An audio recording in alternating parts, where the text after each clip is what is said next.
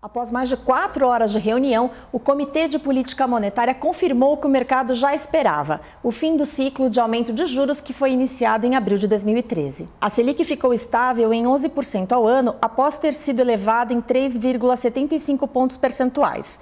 Mas no comunicado da decisão, o Copom fez questão de deixar uma pequena dúvida sobre seus próximos passos. O Banco Central afirmou que a decisão de manter a taxa Selic estável foi tomada neste momento e, com isso, sugeriu que pode ter que fazer uma nova mudança da taxa a qualquer momento se os indicadores econômicos justificarem. Para analistas, a variável mais importante na decisão futura será a inflação.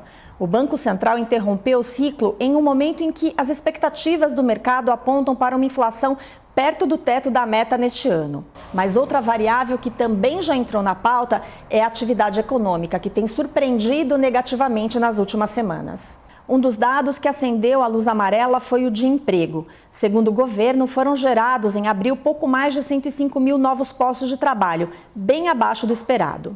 Esse é um sinal de que a desaceleração da atividade pode bater no mercado de trabalho e agravar o quadro geral. Se a economia continuar perdendo vigor, o espaço para doses adicionais de aumento de juros, portanto, pode ficar limitado. Ainda mais em um momento em que a recuperação econômica no exterior mostra-se muito mais lenta do que o mercado esperava.